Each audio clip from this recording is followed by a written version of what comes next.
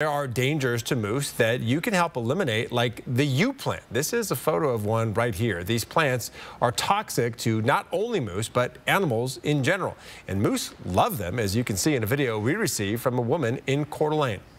The Japanese yew plant is incredibly toxic um, to the point that we're talking within a day, two days, if an animal eats it, um, it can kill over. Idaho Fish and Game wants to encourage people not to purchase that plant.